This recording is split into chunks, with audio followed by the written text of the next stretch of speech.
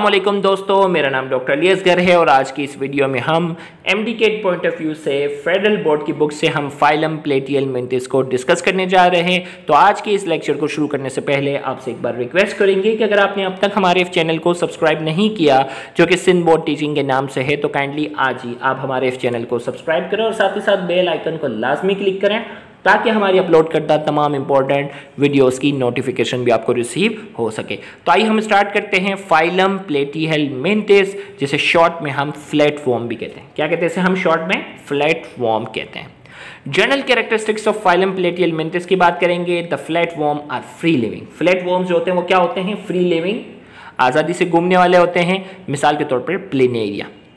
और पैरासाइट या ये दूसरे जानदारों को नुकसान पहुंचाकर उनसे गज़ा हासिल करने वाले होते हैं, मिसाल के तौर पर टैप फॉर्म तो अगर आपसे पूछा जाए फ्री लिविंग प्लेटफॉर्म कौन सा है तो आपका आंसर होगा प्लेनेरिया और अगर आपसे पूछा जाए कि पैरासाइट प्लेटफॉर्म कौन सा है तो आपका आंसर होगा tapeworm they are found in fresh water marine animal gut liver हमने कहा, ये कहाँ कहाँ पाए जाते हैं? तो ये फ्रेश वाटर में, मीठे पानी में पाए जाते हैं मेरीन समुद्र के पानी में पाए जाते हैं एनिमल घट यानी एनिमल्स के डाइजेस्टिव सिस्टम में पाए जाते हैं एंड लीवर लीवर यानी जिगर में पाए जाते हैं। बॉडी इज़ सॉफ्ट इनकी बॉडी सॉफ्ट होती है फ्लैट एंड डोर्सोवेंटली बिल्कुल फ्लैट होती है प्लेटियल मिंटेस आर ट्रिप्लोब्लास्टिक ये क्या होते हैं? ट्रिप्लोब्लास्टिक तीन लेयर पर मुश्तमिल होते हैं ectoderm mesoderm and endoderm and exhibit a bilateral symmetry इनकी जो सिमेट्री होती है, वो कैसी होती है? बाइलेटरल सीलोम इज़ एबसेंट इनके पास बॉडी कैविटी नहीं होती and the spaces are filled with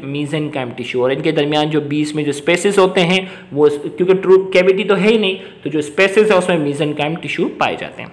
Eye spots are present in some flat worm कुछ फ्लैट फॉर्म के अंदर आई स्पोर्ट्स मौजूद होता है।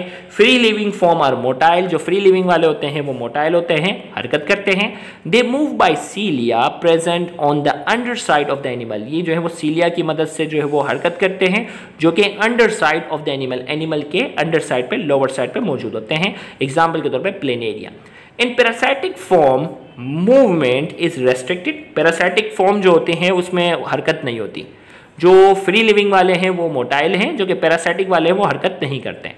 Reproduction take place by asexual and sexual mean reproduction जो है, वो सेक्शुअल और ए सेक्शुअल दोनों तरीके से होती है।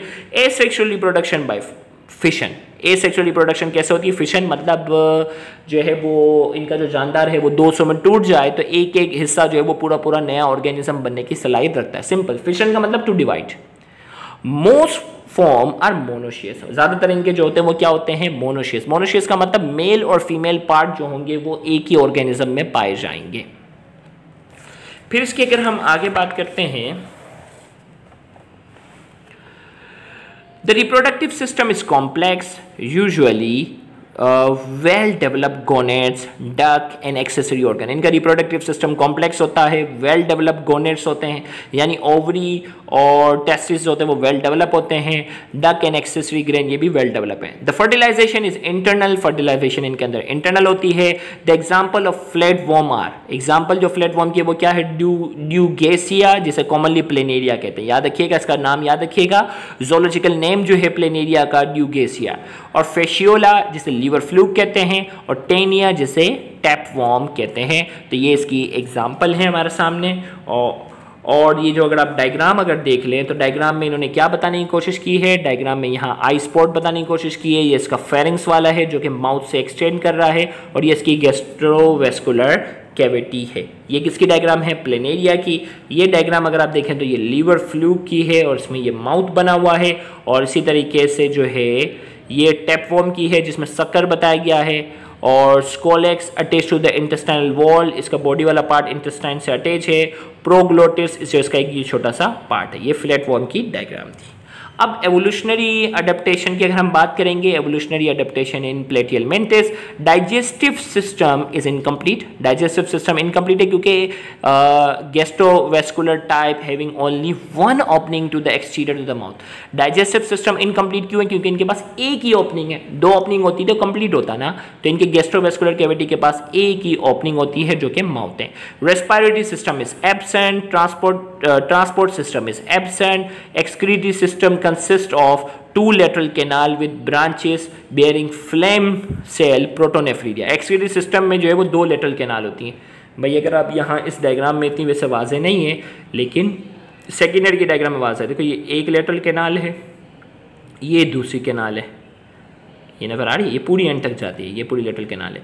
और इससे निकलने वाले जो सेल हैं, वो क्या है? फ्लेम सेल कहलाते हैं और ये क्या कहलाते हैं? प्रोटोनेफ्रीडिया तो वैसे executive system of planaria पर बाकायदा पूरा सेकेंड ईयर में टॉपिक है तो वहाँ डिटेल में डिस्कस हो जाएगा। तो excretory system consist of two lateral canal with branches bearing flame cell और protonephridia nervous system consist of a pair of anterior ganglia with longitudinal nerve nervous system जो होता है, उसमें एंटीरियर गेंगलिया जब भी वर्ड है ना, इसका मतलब न्यूरोन की जो सेल बॉडी होती है, इसके लिए वर्ड यूज़ होता है।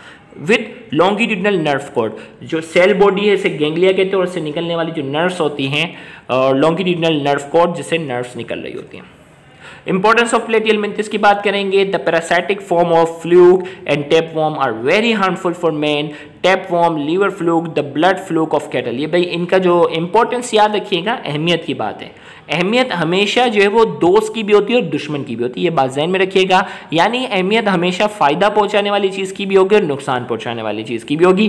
तो यहाँ इसका कोई फ़ायदा नहीं है हमारे पास। इसका नुकसान ही नुकसान है। तो इसकी इंपॉर्टेंस में इसका जो है वो सिर्फ़ नुकसान बताया गया है।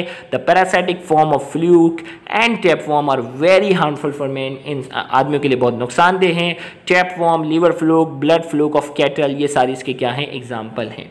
इन हमारा जो नेक्स्ट लेक्चर होगा, उसमें हम final phylum aschelminthes roundworm को हम डिस्कस करेंगे तो उस लेक्चर को भी देखना मत भूलिएगा। थैंक यू वेरी मच अल्लाह हाफिज़।